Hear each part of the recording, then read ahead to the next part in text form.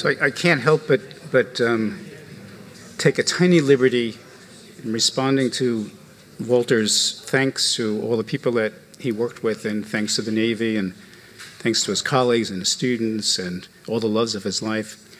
I really think it's all of us that have thanks to give. I know I speak from everybody. I'm so grateful, and all of us are so grateful that we've had the opportunity to work with you. You're the one that deserves the thanks.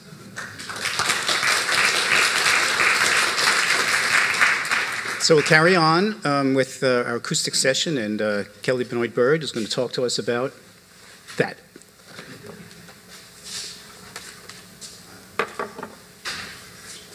Uh, thank you. Uh, thank you very much to Peter and Bruce for inviting me here. It's quite an honor for a relative greenhorn like me to be asked to participate with this um, list of names, so I hope I can uh, do Walter some justice. Uh, fairly early in my independent research career, I had the opportunity to uh, participate in the Oceanography 2025 workshop, where we were tasked to look ahead um, a couple of decades about where we might be in oceanography. And I had the privilege of being in several working groups with Walter where he uh, challenged me to think both more simply and more grandly. And I think the charge we were all given here today to talk about oceanography in the next 100 years gives you a sense of how much grander he wants all of us to be thinking. But one of the things that inspired me most about our conversation was how clear it was that his work was driven by the question rather than being restricted by the tools available. I, you've heard today about how Walter's entry into the field of acoustics was a great example of that, inspired by the recognition that mesoscale processes were playing an important role in ocean dynamics, and yet ships, and as we heard from Peter's talk, even more modern technologies, were woefully undersampling these processes. Now, this is a view of uh, the ocean surface from space, where you can see the huge range of spatial scales that we have dynamics happening off the east coast here of the United States. And in this example, the indicator that we can see these processes by is in fact the plant activity. And it's an interesting problem that these, uh, we're seeing these associations between the biology and the physics, and that the biology often is a useful cue for us to track physical processes. And I want to step back a bit and point out how different this is from our perception as terrestrial animals, where the physical processes happen over much uh, more rapid timescales and over much smaller spatial scales than the biological ones. However, in marine systems, we see really tight coupling in the scales between biology and physical processes. Um, you see that great overlap in those scales. And as a consequence, we need to think very carefully about the interaction of physics and biology at sea. Now, we've known about the heterogeneity of life in the ocean since the first biological oceanographers dipped nets, um, beginning with Hensen in the late 1890s. But mostly this has been treated as a problem of error Acoustics has given us a really different view of the heterogeneity than we would see from um, either nets or surface observations, for example, of large animals, and scattering layers are a really key example of that contribution. In fact, the name alone gives you a clue that they were discovered largely using acoustic techniques and were in fact thought um, initially to be related to geology rather than biology, but when they started to discover diel patterns in that, we all know that's not a geologic timescale. So these features can extend um, tens, even hundreds of kilometers, but are vertically compressed. Um, and represent large aggregations of biomass that, as I mentioned, move up and down in the water column each day. We've also used acoustics to describe spatial processes in the biology at much smaller scales. This is data from a 120 kilohertz echo sounder in the Bering Sea. And as you can see the bottom there at just over 150 meters, in the water column we have these strikingly intense aggregations of very high intensity scattering from aggregations of krill. And you either hit one of those patches of krill or you don't. These are remarkable swarms, and when you see them visually, it's amazing how much of a krill soup this really is. And so we wanted to use this kind of information to start asking questions about why is this variability here? Obviously, it's partly the physics, but also what consequences does this have in the ecosystem? And so here is a map of the southeastern Bering Sea uh, with the Pribilof Islands there noted in the center in white. And the more um, intense colors in red represent higher aggregation, so uh, higher local density, not higher average density. And this gives us one perspective on the Bering Sea that is in fact quite different from our more traditional view of just how many krill are out there, something we might do for a stock assessment. And when we started to ask using a variety of techniques, including predator track tagging, acoustic tracking of these animals, and other things was that for all of the predators that utilize these resources that are a variety, have a variety of different foraging and breeding strategies, how aggregated the krill were was much more important to their success than how many krill there were. And that turns out to be really important in solving a paradox proposed uh, by Lasker in experimental work here in the 1970s, where when you feed um, schooling fish, the average concentrations of food measured in the ocean, they all die. So animals cannot survive the, on the average food concentrations in the ocean. Why are we measuring it? They, in fact, do not survive on those average food concentrations. It's the variance that turns out to be really important. Another way of putting this is that predators target prey based on its distribution or, and not on its biomass. But most of this work has been done in the relative surface ocean, using uh, work obviously from satellites where we get a very, very narrow view of the ocean, and even from shipboard acoustics where we perhaps get hundreds of meters. And we've long thought about the deep sea as uniform and slow, both from a physical and a biological perspective. However, there are a large number of obligate air breathers that, uh, including toothed whales and seals, that have evolved physiological and behavioral characteristics to feed at depths of 1,000 meters or more. If they need aggregated resources to be successful, and the deep ocean is uniform and slow, we have a paradox again to resolve. I think it's clear that the repeated appearance of this physiologically challenging and energetically costly strategy um, indicates that there may be more going on in the deep sea. Um, so today I'm going to talk a bit about uh, deep diving beaked whales. I have a, a, dive depth here noted to three kilometers, but there are now measurements over four kilometers deep for some of these animals. So these are really remarkable um, animals in terms of their, their depth for foraging. Despite the fact that they're a large mammal, we know very little about them. There are about 20 species, and in the course of my career, I think four new species have been identified, which is pretty remarkable when you think about a large mammal being um, undiscovered less than a decade ago. We know that most of these animals suction feed on deep water squid, and one of the challenges for us is that they appear to be particularly sensitive to anthropogenic sound sources. Um, as you can see in that lower right image, there have been large, relatively large numbers of incidents of strandings of animals in association with operational military sonars, particularly the mid-frequency anti-submarine warfare signals. And we uh, and more commonly, these animals are observed um, to show sublethal avoidance, leaving areas where there are high um, acoustic activities like ASW signals. And we really wanted to know what role their food resources could be playing in this kind of uh, both lethal and sublethal impact. And so today I'm going to tell you a story of two Navy ranges, the SCORE Range off Southern California and the AUTEC Range off the Bahamas. These are two very different ecosystems. One's relatively um, energy rich, and of course, AUTEC being in the tropics is a blue water ecosystem. These are, uh, have resident beaked whales are two different species. Uh, off Southern California, we have a much larger um, individual, the, the Cuvier's beaked whales, where at AUTEC we have much smaller, up to uh, 1,000 kilogram animals. And our goal in comparing these was to try to figure out what factors about the habitat and their resources might really be important.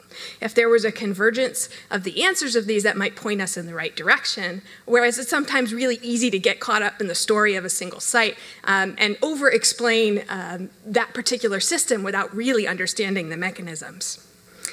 The great advantage of working in these areas, obviously, is uh, that these animals have huge interactions, really repeated and frequent ones with the US Navy. But from a scientific perspective, these sites are instrumented with a large number of seafloor mounted hydrophones. And so they can have, in fact, done long time series of how animals use these habitats for foraging based on the sounds that they make um, that indicate foraging activity. And so these are two maps of the habitat use of these animals during our um, experiments. And what you can see is that they don't use these areas equally. Particularly noticeable here at SCORE, they use the northwest quadrant of the range much more frequently for foraging than they use the northeast quadrant, and each of those boxes is about 25 kilometers across.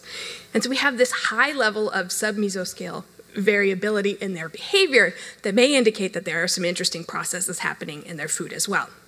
We see some similar patterns uh, at AUTEC, although not nearly as striking a contrast between high and low use um, habitats for these two animals. And I will say that from an oceanographic perspective, these areas don't look that different. Um, and, and, we made lots of measurements through these and tried to understand what might be happening from a physical perspective. Um, there's clearly a lot more going on uh, that we don't understand. The challenge, however, is that these beaked whales um, are feeding so deep. Our ship-based acoustic measurements uh, looking for squid get us a range of up to about 600 meters, and these animals are typically feeding around 1,000 to 1,200 meters. And so we have a methodological problem, and um, um, learning from Walter that that should never stop you, we started to think a little more creatively about how we might access this habitat where the beaked whales are feeding and use the same instruments that we would use in a ship-based system um, in an autonomous underwater vehicle capable of diving to a depth of 600 meters. And suddenly that puts the squid and the beaked whales within our depth horizon. And so just for a sense of scale, this is what that autonomous platform looked like. Um, when we were developing this, this was about a quarter of the size of um, any other AUV had, that had been implemented with um, scientific echo sounders to date, and was possible to deploy it from relatively small research vessels, like in this case, the New Horizon. Um, and you notice that bulging section there in the front. It looks like this REMUS is actually pregnant. And if you look at it from the underside, you'll see that that's the location of a 7 degree uh, split beam 38 kilohertz transducer. And right behind that is a 120 kilohertz transducer. The electronics for this system are in the section immediately behind it. Um, and we had to do a lot of work to make what is meant to be a, a human interactive system work robustly in an autonomous setting. And I just want to, um, I won't talk about these data today, but one of the exciting things we were able to do was process the data on board and look for squid um, inside the vehicle so that the vehicle could make real-time decisions about the scale of sampling, uh, giving us more data in areas where there was more interesting things to see. Now, we chose those two frequencies um, very carefully, partially within the limits of the physical constraints, although you can see we weren't very limited by that, um, uh, despite the manufacturer thinking we were nuts for wanting to put a transducer that was twice the diameter of the vehicle inside it. It's possible. Um, but also in thinking about the frequency response of the echoes that we would get back from the animals in the habitat, and really wanting to get at squid specifically. And so this is a plot of the relative target strength, so I'll normalize to individual maxima from the typical fisheries acoustics frequencies um, here from 38 to 200 kilohertz. Now, both whales and fish with air-filled body parts give us a relatively flat frequency response across this range, as we're typically past the resonance of those um, air-filled cavities. If we're looking at an invertebrate here represented by a krill, um, we typically see a, an increase in frequencies to a certain point and then a leveling out depending on their size relative to the wavelength. But interestingly, for, for squid, we get a really different response. We get a dramatic drop off in the intensity of the echoes um, that stays consistently flat after that point. So we have this really strong low frequency response. And I'll point out that we don't yet understand the physical underpinnings of this, and it's not predicted by any of the existing scattering models. So we're clearly missing something in the uh, uh, physiology of this animal. But in any case, it proves to be a really useful tool, and with just the two frequencies we were able to fit inside this autonomous platform, we can distinctly identify squid uh, and separate these groups largely. And in many cases, we can make estimates of the length of these individuals, which is um, really important for understanding the energetic gains animals might have foraging in this habitat. And so I'm going to fly through the, the, the um, variables that we included in trying to understand this quickly, just to give you a sense of how uh, comprehensive we attempted to be. First, we looked at the total biomass, um, a, proxy for it anyway, in acoustic sense, um, thinking very uh, in a sort of more general historical way about these data.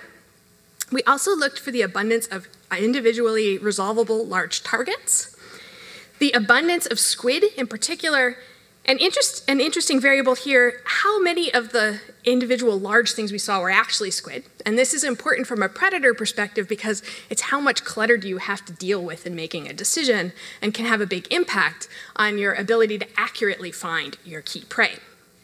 We also looked at the spatial structure of squid and the size of these squid.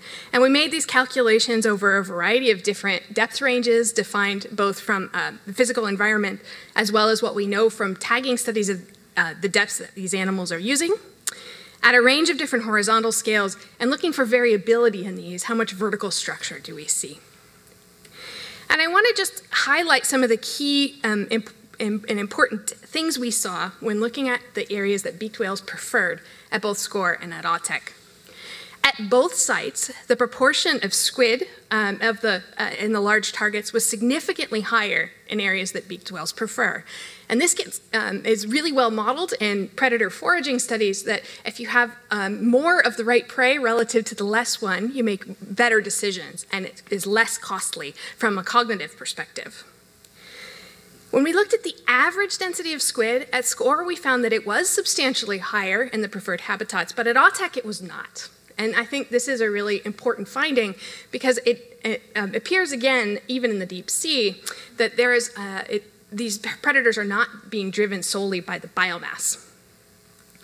When we look at the distribution of prey in the preferred versus the less preferred areas, we see the most striking differences.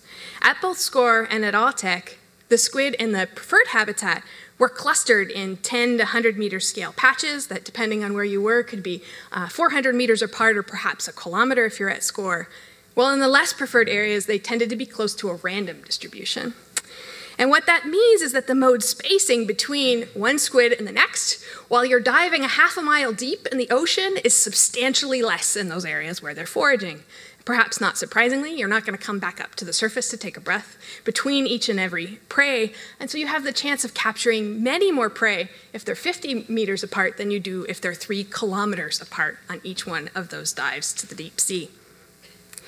The other interesting difference is that the squid in the preferred areas also tended to be significantly larger. This is a, a difference measured in terms of length. But these squid tend to grow allometrically, meaning they get fatter as they get longer, and so the calorie gains may be even more substantial than this um, percent difference. Now, I want to put the data from one of these sites into a biological context just so that you can kind of understand what these metrics might mean. And so, comparing the high use relative to the low use sites here off Southern California, we see that difference in spacing, and the high use areas where squid are clustered together with large spaces between them if you find one squid, you're likely to find another within 50 meters. However, in the low use site, it's going to be three kilometers before you reach that next squid. We know from tagging studies that each one of these dives, um, beaked whales attempt to capture about 30 prey. So to do that, at the high use site, you'd have to swim about a meter per second to encounter 30 individuals. However, at the low use site, you better turn on your turbos because you'd have to go 50 meters per second, more than 110 miles per hour. Um, in order to even encounter that any. And of course, we know from tagging studies that their maximum velocity of the animals here is about 10 meters per second, with a sustained speed substantially slower than that. So there's no way that they can even encounter that many squid in that low, less preferred habitat. This doesn't incorporate the size differences, which will obviously amplify some of these effects, where the average length of squid in the high use um, habitat has a mantle length of 22 centimeters. We always measure squid by the parts that are um, not too stretchy, and so you can just about double that to get a full length, just to give you some perspective. Where in the low use habitat, they were on the order of 16 centimeters.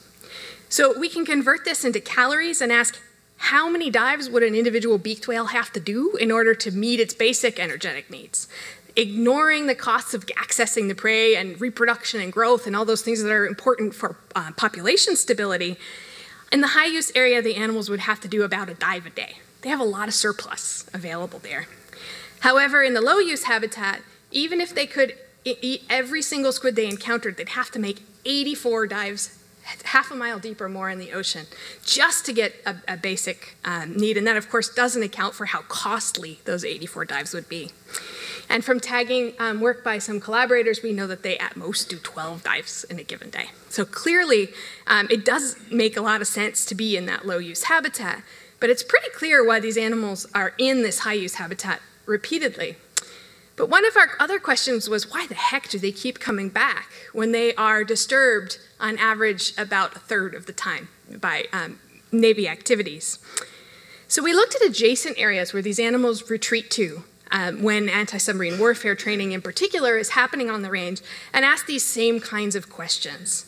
And what we found was that those off range refuges are um, richer in food than the area on the range that they don't prefer but it's really slicing this fine. They would have to do 12 dives a day, again, not accounting for the costs of all of that, or any growth or reproduction in order just to make a living. And so clearly there's not enough left over there.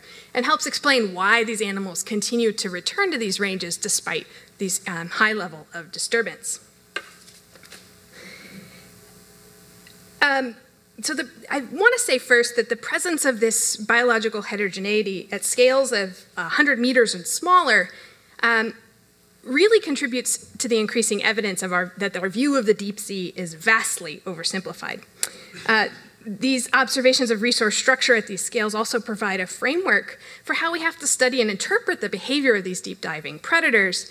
But getting back to the question I asked at the beginning is what role does food play well, the distribution of food, and I highlight that there, the distribution of food plays a vital role in driving the observed distribution of these animals over relatively long time scales that have been observed. The persistent use of the range, despite that repeated disturbance, and it determines the cost of relocation um, for these animals in terms of range activity. And we're working with the Navy now to incorporate these, these into their population level models to try to predict how we might best use the range resources in order to have the least impact on these animals. For example, does it make more sense to cluster your activities into a shorter time period or to space them out in a certain pattern to allow these animals access to their food? Um, uh, and, and are there certain times of the year where you might have less of an impact? So across these systems, from the surface to the deep sea, from uh, high latitudes to low, we're finding that aggregated resources are absolutely critical to animal survival in the ocean.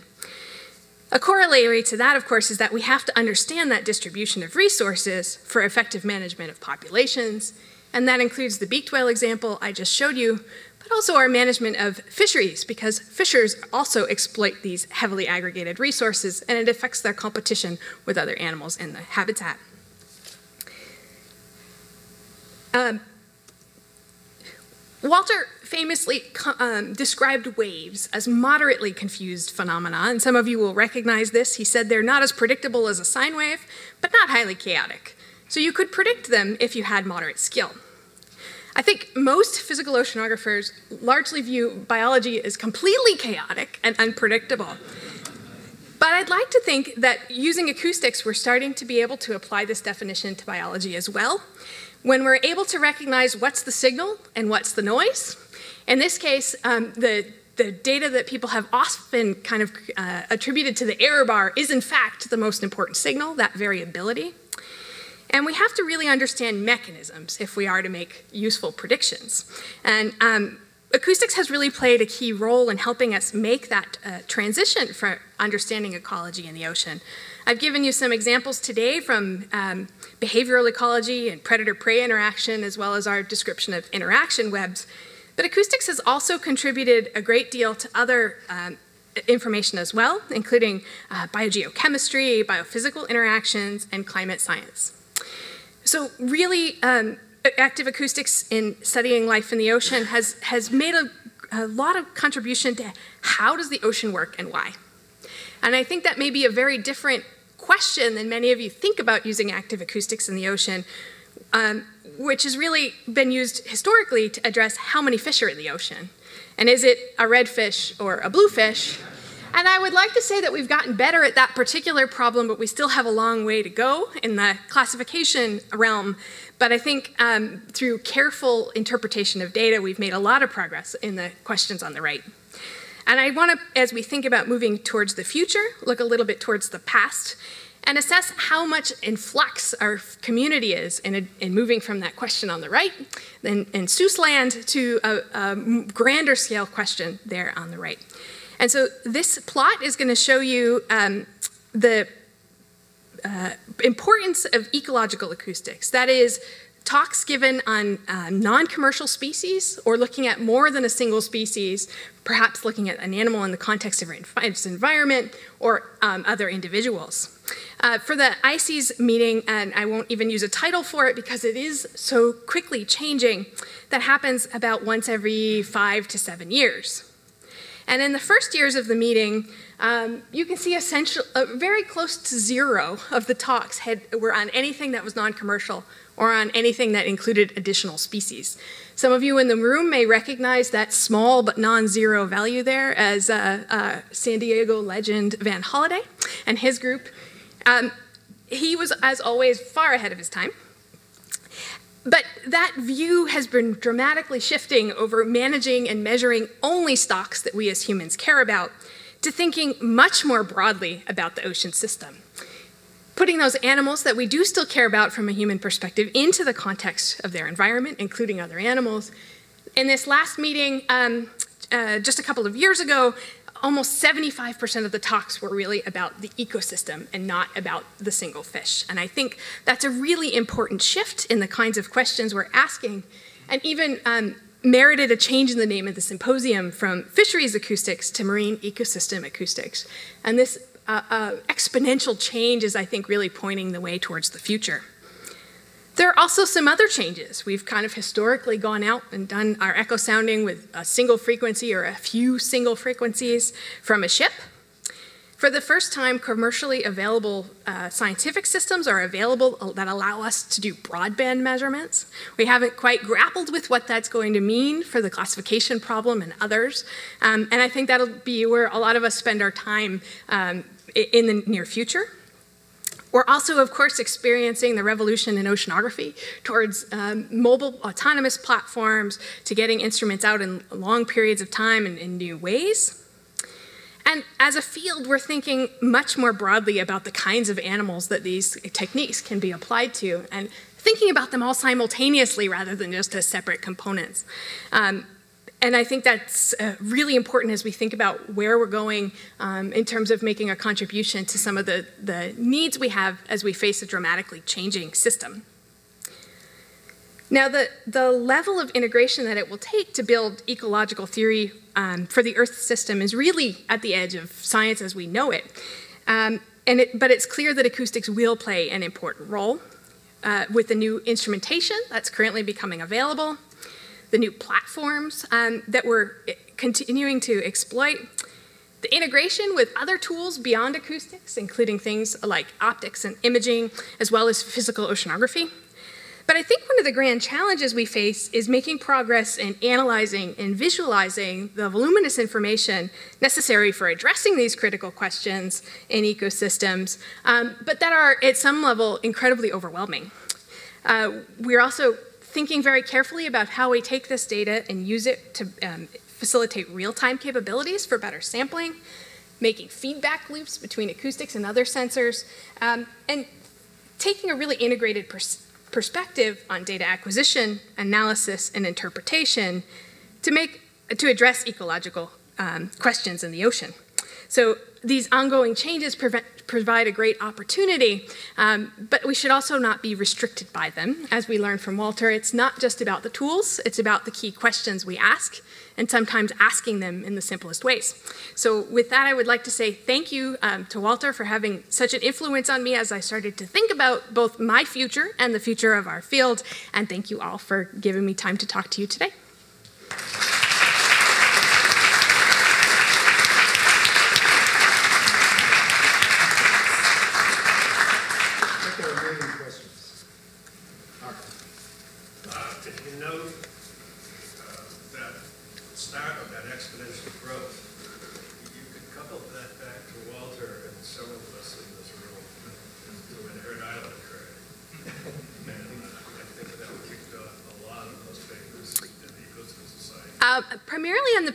Acoustic side. So that plot really only includes the active acoustic component, though I would argue that those kind of moved in parallel in a lot of ways. So, yeah. My second question is, uh, those ranges are very heavily instrumented by the Navy. Uh, have they given you any access to get data passively? Uh, because they would respond to a lot of those vocalizations. Yeah, oh, that's the, where that data came from, is from the passive acoustic detections. Uh, so that all data is all going through a collaborator at the Naval Undersea Warfare Center. I think one of the exciting things is that they're um, going to be giving us access to the bidirectional nodes on that, um, and we're going to attempt to use those as uh, at least qualitative uh, time series data on the range where we can try to look at the volume reverberation over time, um, which I think won't, it won't give us the same kinds of data that we obviously can get from the the echo sounders, but it may help us refine what times and places we have variability that we need to go measure better. If you get access that AUTEC network, right now, it's very fine piece of work. Yes, thanks. We have, and like I said, that is in this one of these plots. Uh, if I can operate a Mac, I apologize for my my PC bias. But here, this, these are data from the AUTEC range, um, smoothed into a map so that you can you can take a look at that. And these just represent the time period that we were out there to sort of validate our a priori assumptions. But we were letting the animals tell us where to go, um, both using the long-term data and using the real-time information we were getting from the range. So So I have a question about that. Um, It's, it's somewhat easy to understand why the, the whales always appear where the squid appear. The question, one question I would ask is, why are the squid there? that's a fantastic question, and we haven't gotten to that part yet. Got to start somewhere. We're the other symposium. Absolutely. And, and it's, what's interesting is that this is not reflected in the biology that we see in the upper 600 meters of the water column. In fact, um, at, AUTEC, there are very few correlations with these locational differences, and at SCORE, the pattern is backwards. So you find many more um, small things that might serve as food for squid in the low use site in the upper 600. So we were hoping we'd develop some proxies that could be more easily sampled and didn't have any luck with that, but One more. What is the uh, acoustic frequency range that the beak whales use for echolocation of their prey? Um, these animals are primarily using between 30 and 40 kilohertz, perhaps unsurprisingly, yeah, given the frequency response that we've measured from squid. So they're really well tuned to that, and it's a really similar frequency range that other squid eaters use as well. So again, they always tell us the answer. We just have to learn to listen. Last one. Well, Further offshore, we see an enormous migration in the squid they come to the surface at night. Uh, Why don't the whales hunt them? Yeah, so these, um, these whales show no diel pattern in their vertical distribution at all. We did not observe a diel movement in the deep, these deep water squid that they're foraging on. So that vertical movement is happening on much smaller individuals and not the ones that they're focusing on for food. Um, in fact, that turns out to be a really useful um, sort of experimental thing because the, all this clutter goes to the surface and we could ignore it and we know that's not what they're eating because they're still diving so deeply. So that's helped us separate what's um, prey and what's just out there. But Okay, let's. uh, Thanks.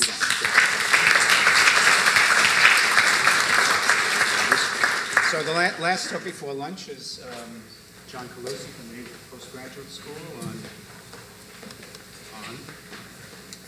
on small and microscale acoustics.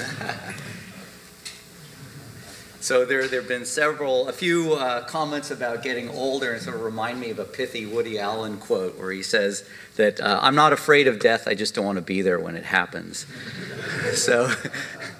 But what I'd like to talk about today is uh, work that, of course, Walter has been uh, intimately involved with and looking at acoustics at the small scale, small meaning internal waves, uh, but also some ideas about doing some things in microscale that was sort of a, a uh, brainchild of, of the previous symposium that we had here. So, but before I get along, get on with that, I just want to thank Walter and Mary. Mary stepped out. I thank you, Walter, for all the wonderful hospitality you've extended to my family and me uh, with many great visits to your home and surfing down the canyon here, and then this crazy wildlife a rattlesnake here in the swash zone at Black's Beach that I almost stepped on. uh, so lots of wildlife and beautiful things to see there. And I must say also too, another aspect of Walter and Mary's hospitality is their generous access to the wine cellar. And as all of us know, their taste in wine I wouldn't say is the highest, but their friends do have an extremely good taste in wine. So, and we've had wonderful travel companionship too. Uh, at many, many conferences around the world and around the, the country. Here are a few at the Acoustical Society in Honolulu, some recent ones, Ocean Science in New Orleans. And we've also had wonderful collaborations on, on science together. We have, there were the ATOC years where I started as a postdoc with Peter and Walter. Lots of discussions about mode statistics and scattering of these basin scales. So Walter had this really cute little diffusive idea about how the modes would get scattered and how the energy would kind of redistribute itself for these very, very long ranges. And so it, when you do a, a, transmission loss calculation for the different mode numbers here, we use in climatology, you see something like these squares. When you do the measurement at, at megameter ranges, you see these circles here. And then Andrei Morozov and I worked out the, the exact theory, and we found that instead of a diffusive behavior, you actually get an exponential change in the mode intensities with range. So instead of going as the square root of r, and our theory agreed beautifully with the measurements to, from the ATOC years. And then we also worked on the, the, the, famous tidal cusp problem, and I guess that's sort of a stochastic inverse in some senses. Five equations and five unknowns for the amplitude and phase of the barotropic tide, the amplitude and phase of the baroclinic tide, and a phase modulation factor. And a really interesting result we saw this record going back to the Mon Hawaiian monarchy showed the phase of the uh, baroclinic tide advancing over the century in response to the, the warming of the thermocline uh, around the Hawaiian waters. So lots of fun things that, that we did there too. But uh, getting back to the, the matter at hand now, you know, Walter's always proud of saying that, you know, the mesoscale revolution is the thing that brought him into acoustics. But we all know the reality is that it's internal waves that brought him into the problem of acoustics. And, and that's where he really set the field on its feet and allowed a lot of us to kind of work from there. Uh, now, Walter is, is definitely uh, concerned with the sampling problem in oceanography that always stands out. Uh, but I would say the sampling problem for internal waves and ocean mixing is almost mo more onerous than the mesoscale sampling problem. Uh, lots of different space and time scales involved in understanding those, those, uh, those phenomena. And so I think maybe we, acoustics can say something about those things. So let's just start with uh, internal waves. And the catalyst was, of course, the GM spectrum from this really interesting measurement that if you put two thermometers or two current meters 100 meters apart from each other in the vertical, their fluctuations were incoherent. And this is one of those interesting cases where people were making measurements, especially with the current meter, uh, Ekman in particular, did not believe his measurements because he thought there's absolutely no way these measurements can be incoherent over 100 meters vertically. And he never really published the, the result. I don't think Walter said it, it, yeah, it kind of languished in his laboratory. But when finally, you know, the, the understanding of internal waves emerged, uh, that, was, uh, that was really the reality of the ocean. And so we have this famous paper that some of us have, have powered through, not an easy read for sure. You know, strange notation, y is the vertical coordinate. You know, lots of really insightful WKB results. And, and this really put the ocean fine structure sound speed uh, field into perspective. Previous uses were, were basically looking at turbulent type of media. So th with the GM spectrum in hand, why not apply it to, to an acoustic problem? And so this is another nice JASON work that came about. I don't know if the GM spectrum was JASON, maybe a little bit, or, but the acoustics part for sure was. So this is part of a 1974 JASON summer study and the key paper is Munk and Zachariasen in 1976, utilizing the Born and Rytov approximation. And what's really interesting is while the sophistication of other methods uh, has increased, we use moment equations, Feynman path integrals, but it basically comes down to the physical picture of the Garrett Munk, of the, of the Munk and Zachariasen view. That's at least before uh, ray instability sets in, a ray chaos in which this ray path that we expand around is, becomes un, sufficiently unstable that the, that the solutions are, are, not, are not good enough. But this, uh, this is the paper that really uh, put, led the way. Again, a difficult read, 125 equations. They actually stopped labeling the equations after a while in the paper. I, I noticed the same thing in the GM. Just, it was getting a little too out of hand. Uh, but, and key in terms of this talk is this, uh, this discovery of the perpendicular wave number resonance. And that is this tells us that an acoustical measure of the internal wave field really selects out particular wave numbers of the internal wave field. It doesn't take all of them together, it's, it's, it's, it selects them out, and because of the, spurs, the dispersion relation, that also gives us particular frequencies that, that come into the play. Now, the tomography problem, we've heard about Peter Worcester's thesis, and that really was seemed to be, at least in my read, the seed of thinking about doing an acoustical measurement of, of internal waves, uh, where Peter measured the, the very rapid fluctuations uh, in acoustic signals sent over a reciprocal path. And so, in this way, you could measure both the displacement of the wave and the current uh, using these reciprocal transmissions. And so, another very difficult paper with lots of equations. This is what Walter says in the beginning the formalism required for the interpretation of the non reciprocity is regrettably complex. and Walter, I think you'll be happy to know, I think I've solved a lot of that complexity problem. It turns out that that horrible cusp that you put at the uh, inertial period for the current spectrum is the thing is the cause of all those singularities in those equations if you just do a pure power law instead of putting the cusp in, which doesn't really mean anything anyway because it's the inertial period, all the, signal, all the singularities go away, and it's a beautiful, the, the result with the momentum flux uh, comes out beautifully. So, uh, so, so this is the, the direction I think would be really fantastic to go in to try to make this measurement of the momentum flux and other aspects of the, uh, the internal wave field uh, from this paper. Uh, unfortunately, Walter, it's not your most popular paper. I was looking at the citation rate on it, but maybe we can resurrect that a little bit. Uh, and just sort of lastly, you know, the physics too here is really quite simple. There's a lot of complicated wave propagation and moving media uh, theory, but in, in, this very, with these very small currents, the, the physics is simple in the sense that to first order in Mach number, an opposing current looks like a, a cold patch of, of ocean. So it essentially just slows the wave down. It's a, it's a correction to the index of refraction. And so you can really add in the, the current effect really quite easily here. Uh, and, and it's really quite elegant. So again, this was another Jason work that, that came about. So, why the interest in internal waves? So, there was a whole symposium in the spring on this, on this topic. So, we'll just kind of run through this really quickly. You know, it's an important pathway of energy transfer and other quantities from large to small scale, linking 2D motions at the large scale to the 3D motions at smaller scale. Mixing and breaking uh, has lots of implications for dynamics and climatological processes.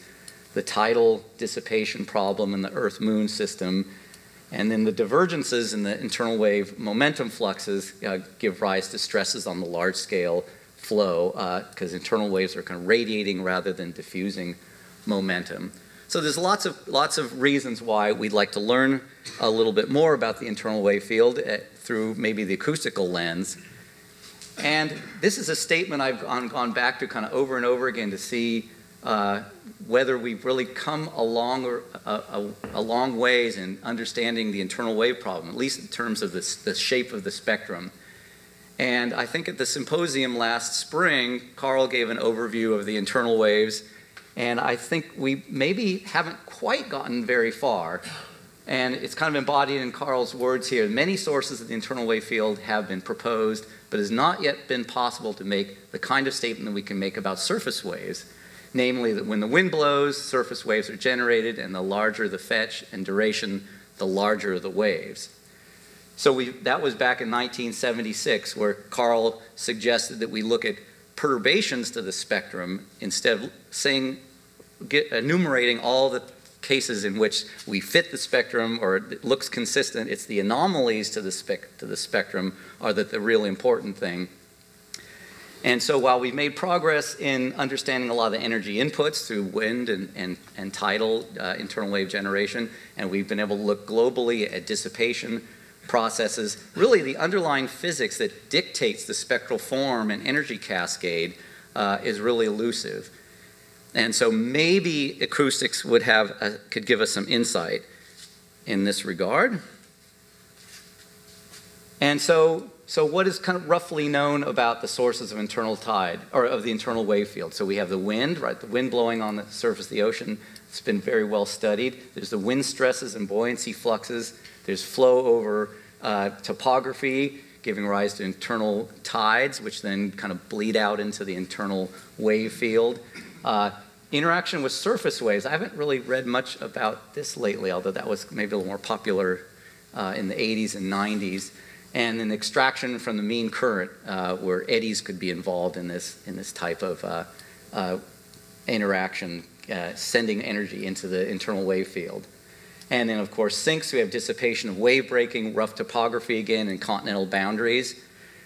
And so, some compelling numbers here, I think, in terms of looking at those perturbations to the internal wave spectrum, come about by kind of comparing the energy density and the dissipation rate.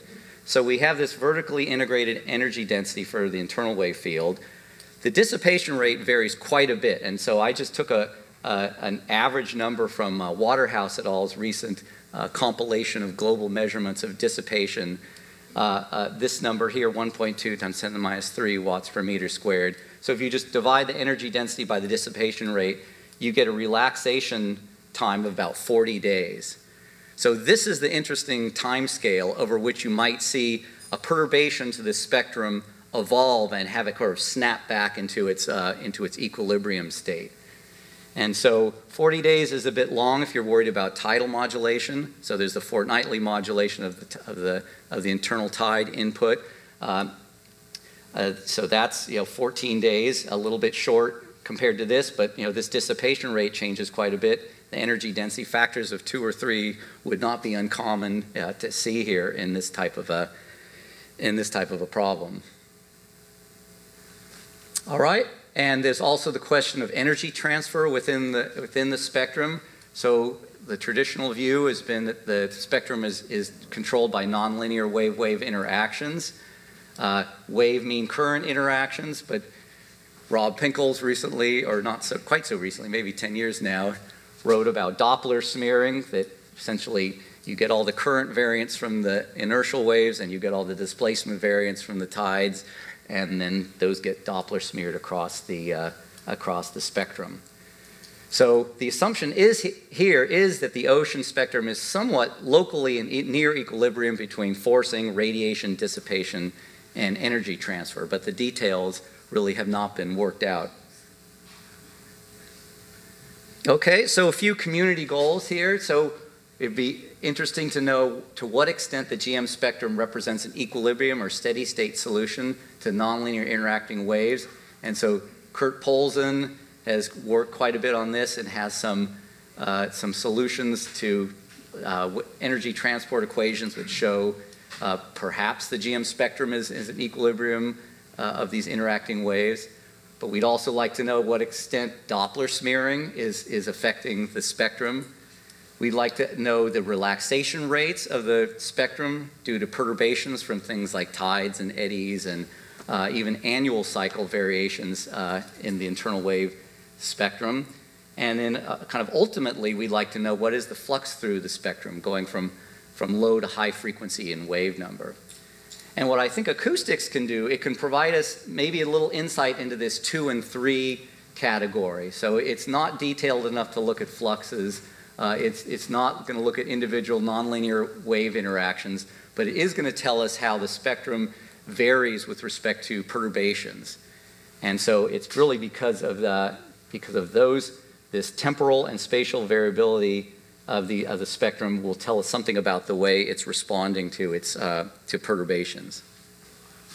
And so this is just a really nice example of showing how something can perturb the spectrum. So these are measurements of internal waves on the side of Fieberling seamount.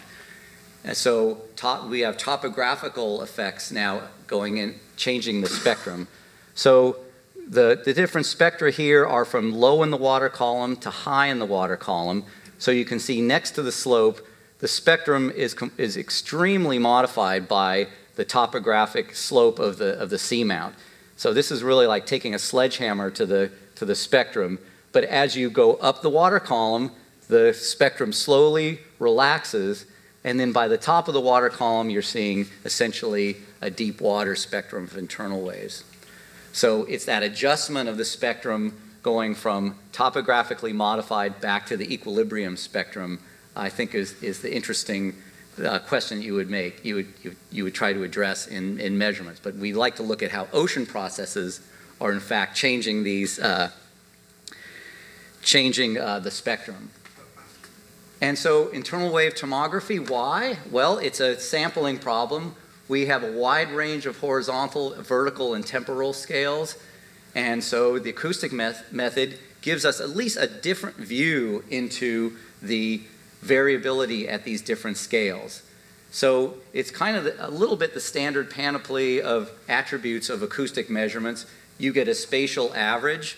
So in this case, you could actually get an acoustical measurement of the spectrum much more, uh, you could get a stable estimate of the acoustical spectrum much more quickly because you're not only averaging in time, but you're averaging in space too. So you can see things settle down a little bit quicker. Uh, we have this wave number selectivity that I'll talk a little bit more about. So the perpendicular wave number resonance.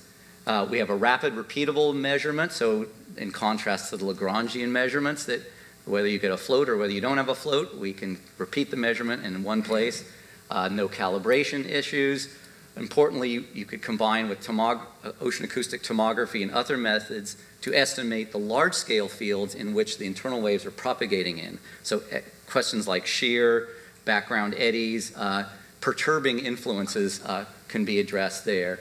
And then you have this nice increase in the number of information with as the number of moorings go up. So there are confounding issues. So there's stochastic sound speed structure that's not internal waves. Brian Dushaw showed us lots of spice. So uh, the acoustics really can't determine the spice from the internal waves too easily. So that would be a confounding issue. And the confounding issue is sort of one and two also. The, the attributes are also the, the liabilities. and so, uh, so those are things we have to worry about. And then the inversion procedure is, is, is something else that's very, uh, it's a little tricky when you're outside the weak scattering regime. So the nice thing from you know, Walter's paper, the Munk and Zachariasen paper, is we have this thing called the perpendicular wave number resonance. And so it's sort of uh, described basically by this cartoon over here. So we think of a plane wave coming in. There's an internal wave going perpendicular to this uh, to the rays of this plane wave, and it causes a corrugated front. And so we know that the rays are perpendicular to this correlated front. So we have a focusing region here. We have a defocusing region there. The phase variations are the are the the wiggles in the front. Clearly, if you turn this thing 90 degrees, you're not going to get any any uh, corrugation of the front. And so the really surprising thing about the resonance condition is that it throws away every single wave except for the ones that are perpendicular. And that has to do with the range being much larger than the correlation length of the random media. And so if we're just thinking of waves, prop, if, if we're thinking of acoustic propagation in the x direction, you're only sensitive to the waves in the y direction.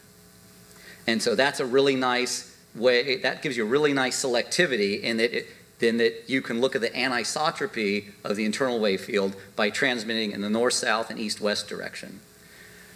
And then the other neat thing too is that the dispersion relation then takes these perpendicular wave numbers and tells you what are the time scales of the acoustic field. So the dispersion relation will tell you the, that time scale. If you have any kind of Doppler smearing, um, that's kind of a different type of, of variation in time. And th this resonance condition is well measured uh, in the ocean. Many experiments over and over again have seen this, this resonance. So, for example, this is a spectrum, an acoustical spectrum of the log amplitude as a function of frequency. And so we have one ray path uh, here with these dots. So this is a steep ray path. And up here we have a, a less steep ray path.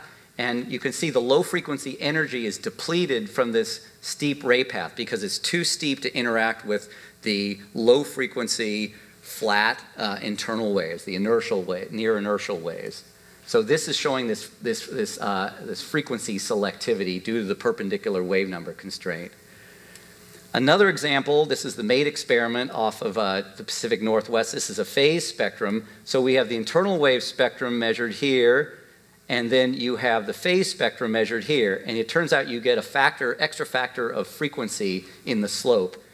And so the acoustic spectrum mirrors the ocean spectrum except for this, this uh, factor of sigma.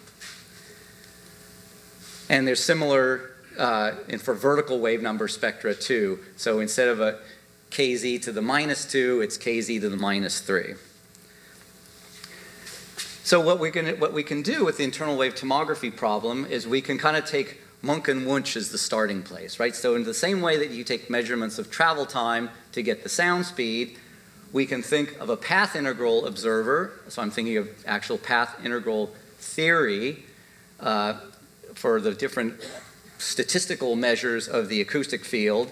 And so we'll have some quantity g, and that there's going to be an integral over a ray path, and there's some quantity f that involves the spectrum, and you have to use many measures of different quantities g to get out the parameters of the spectrum. And so one kind of nice example is if you take the log of the coherence function, that gives you the phase structure function, and you can look at that as a function of, of time and depth and spatial lags to kind of constrain the, uh, the spectral estimate. The nice thing about Walter's work with Zachariasen in the weak fluctuation limit is that the acoustical spectrum, it's a, it's a line integral over a ray path of the internal wave spectrum in the perpendicular wave number constraint plus a diffractive term, this Fresnel filter. So if you can measure the acoustical spectrum and sort of deconvolve the Fresnel filter out of the, out of the measurement, then you get straight to the internal wave spectrum. And I think we could do, speaking of the future, I think we could do a, an exceptional experiment, kind of Worcester Revisited 1977, uh, in which we do uh, transmissions over a 100 kilometer, we're essentially making measurements over 100 by 100 kilometer box. So one kilohertz transmissions to vertical line arrays. So we do an east-west, north-south, east-west, north-south uh, transmission. Maybe a flip there in the center looking at making measurements of the internal wave field. And so we asked the question, you know, can we balance, the, get an internal wave energy balance in this box? So we can, we can, we can look at the propagation in the, in the, the anisotropic propagation conditions. We have paths along the edges that can look at the uh, in, inhomogeneity of the internal wave field.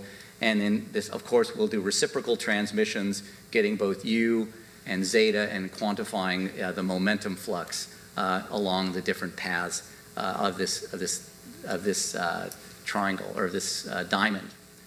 So I've looked at, there's some really nice locations around Hawaii near the hot site. There's not lots of good perturbing influences there. There's eddies, there's internal tides. You can also go to the south of the islands. It, it kind of be like maybe a, a second home experiment, perhaps.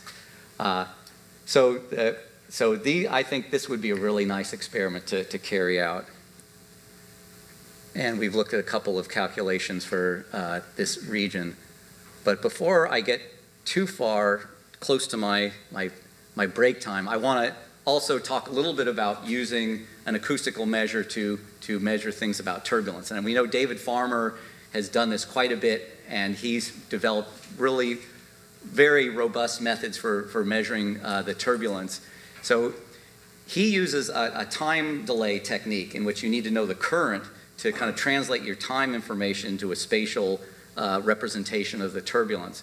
But I think what we could do, if we could make a spatial measurement, we get, we're directly in the wave number domain, and we don't really have to worry about that, uh, that translation and knowing, the, knowing the, the velocity.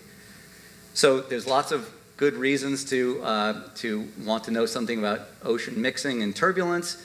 And so I'm going to propose a, a, a method that's uh, somewhat like what I, we talked about for the uh, internal waves. So the nice thing about turbulence is that it's, it creates very weak temperature variations and very weak current uh, fluctuations. So from maybe a tenth of a millidegree to one millidegree, a tenth of a millimeter per second to one millimeter per second. And this is perfectly uh, suited for weak fluctuation theory, where you can apply the Munk and Zachariasen theory directly to, to the problem. And so uh, it turns out it'll be a little bit easier to measure the, the envelope of the acoustical signal instead of the phase, because we, we're going to have to go to higher frequencies. And so I think the observable would be the spectrum of the log of the intensity uh, in terms of, we probably couldn't do it in two dimensions, maybe just do a vertical measurement. But so you have the log, the spectrum of log intensity as a function of the, the y, the y wave number and the z wave number. As we showed before, it's an, it's an integral along a ray path, but if we're going to do a short distance, it's going to be essentially a straight line path. So we have the spectrum and the perpendicular wave number regime. Here's the Fresnel filter. And what it turns out, actually, even though we, I would propose to use hundreds of kilohertz uh, frequencies, the Fresnel zone is still much larger than the energy, energy containing scales of the turbulence. And so this Fresnel filter essentially is one. The cosine term goes away when you do the integral over the ray path. And so the acoustical spectrum exactly mirrors the, the, the turbulence spectrum, uh, except for the turbulence spectrum is range average. So we're getting the range average of this, this quantity.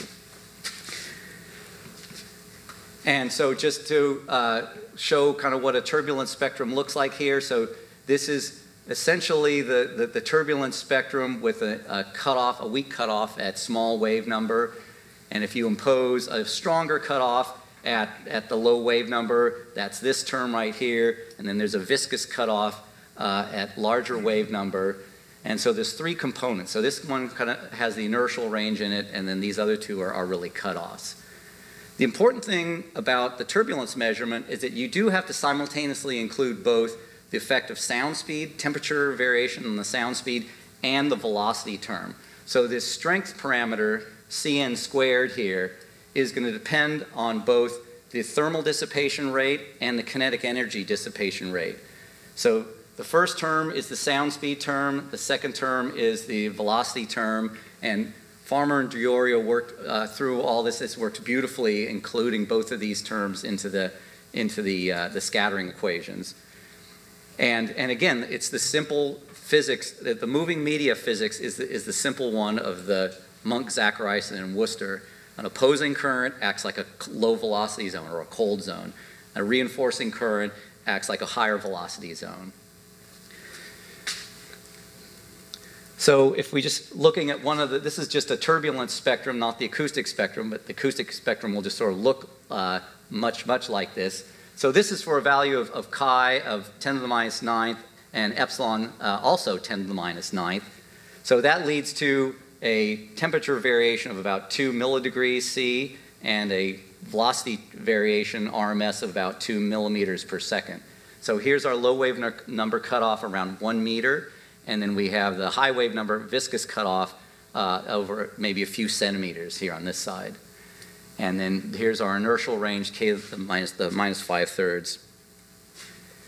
And then if you look at the, the vertical spectrum of the acoustic, so if you integrate over the y wave number and you just have a vertical spectrum, so like the measurement we would make on a vertical array, we get these curves right here, the colored curves. And so instead of the 5 thirds slope, you get the 8 thirds slope right here, and that's the signature of the weak scattering limit. So this particular case, this is 400 kilohertz, 500 meter range, has a scintillation index of about 0.01, very small, about 0.4 dB uh, RMS uh, variation in the log intensity. And so the, the, the, game that you have to play then now is at different frequencies and different ranges kind of allow you to explore different regions of chi epsilon space. So on the left here, this is a 500 meter range transmission. So what we do is we plot uh, chi on the x-axis and epsilon on the y-axis. And these different colors correspond to different frequencies. So for example, at 600 kilohertz, we have this curve here, which gives us the 3 dB cutoff, which is kind of the maximum that the weak fluctuation theory can handle. And then down here is a 0.1 dB RMS, which is maybe the lowest detection you could do. Uh, so we're going to need very sensitive hydrophones. We need a lot of decimal places on the, the measurement of the intensity. And so this gives us a regime of, of chi epsilon space where we could make the measurement. And what's interesting too here is there's this dividing line between a place in which you're completely measuring epsilon, so this is U dominant, and then the place where you're measuring a combination of, of chi and epsilon, and that's the T dominant region. So uh, you, so you, depending on where your interest is, uh, you can pick out different regions of, of this diagram and choose different, uh, you know, different parameters to try to, to, see, uh, to see the regimes that are most important. And looking at some of the, the papers, it seems as though actually this corner here is quite interesting, especially for the deep ocean. So sort of looking at smaller epsilon and smaller chi. And so that is going to require higher frequencies to explore. And so the experiment would really be just sort of a, a shrinking down of Peter Worcester's experiment that we just talked about. So instead of doing a 100 kilometer by 100 kilometer, maybe do a 1 kilometer by 1 kilometer box. We want to put this in the deep ocean, maybe 200 or 2,000 meters above the bottom. The reason for that is that the mooring motion would be a little bit easier to handle down there. The things aren't swinging around so much in the upper ocean. And, and it's the same, uh, it's the same quantification of the variation in the spectrum. So we see anisotropy along the green pass, uh, inhomogeneity along the along the uh, along the border pass, and so it's really going to come down to choosing these this part of the parameter space, your frequencies and your range. Attenuation is a major factor. When you get to 600 kilohertz, things die off really quickly. uh, but on the good side, you look at an ADCP uh, a standard ADCP at 100 kilohertz is 215 dB. So you've got a pretty high source level to start with, uh, and that helps quite a bit. And the ambient noise levels are quite a little bit lower too when you're at those higher frequencies. So just in conclusion, then, you know, small and microscale oceanography have have the age-old sampling problem, and acoustical methods might be a nice way to kind of look at, at averages over certain regions. And certainly more analysis needs to be done to sort out a lot of the information content in the, in the observations, a lot of practical implement, implementation problems. So all this really could be, could be rubbish, but it would be really great to make some of these measurements uh, if they really look like they could pan out. And so we thank you, Walter, for planting all these little seedlings for us to kind of take up. And, uh, and we have lots of good things to do in the future. So thank you very much.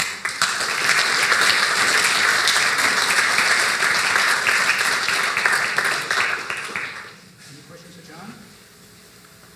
Rob. Well, first, I, I, that- that was a great talk. I really enjoyed it. Uh, um, We make a forward scattering scintillation system to look at turbulence back in the eighties.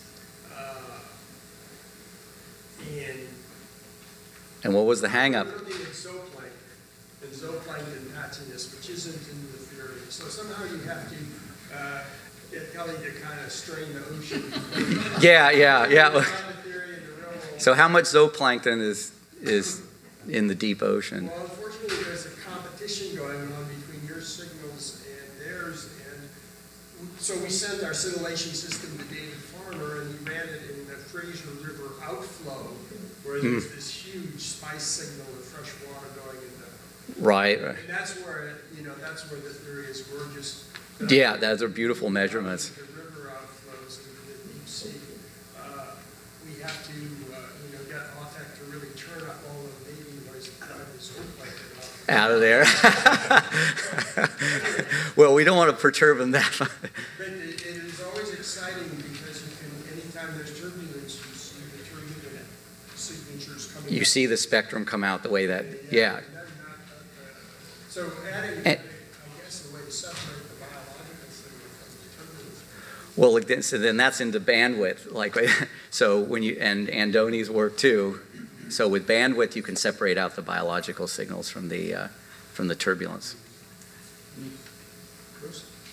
I'd just like to comment that as part of the Deep Ocean Observing Strategy Project, we are considering adding ocean turbulence as what's called an essential ocean variable. So that might provide more motivation for developing this Okay, okay, very good.